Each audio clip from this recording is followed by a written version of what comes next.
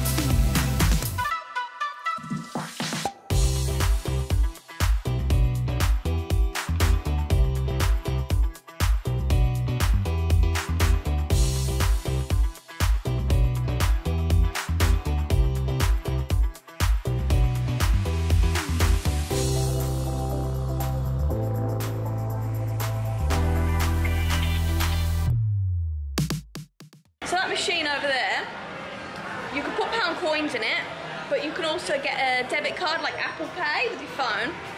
Um, ten pounds. It gives you six pound coins and two tokens. Two of those tokens you can put in the machine. The rest of the pound coins you can then go and put it in this machine and then basically get more tokens. So some of these take two tokens for one play, some of them take three tokens for one play. Now when I was trying, I was having a lot of um, problems with getting it to work, so the workers had to come over and like sort it out. But I managed to get what I wanted, but you, you can spend quite a lot in here, so just be mindful of that. Um, look at every single one that you might want before you just go on like a rampage and just buy them all. You know, make sure you pick properly. And then there's like an arcade bit over there. It's, really, it's, it's small, but it's good. I'm gonna go upstairs now, because I don't know what's upstairs. It says there's a stationery shop upstairs and more of a shop in general. So, sorry, I'm heading up. Have a look. Up here. I couldn't film this video in vertical because of problems I was having with the machines and the price of um, the tokens. I would I would have to have paid. It would have cost me a lot basically. So let me show you around.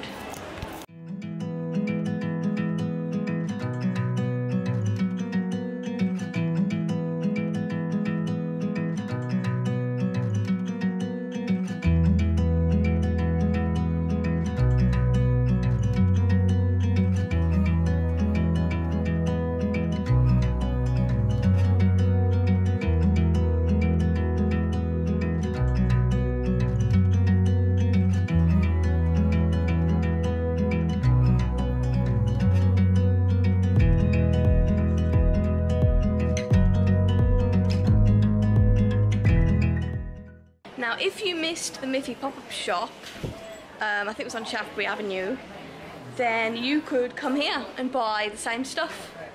I will leave a link into the description of that video that I'm talking about because they don't have an online UK store. So, yes, get some really cool stuff. That. I'm going to carry on showing you now anyway.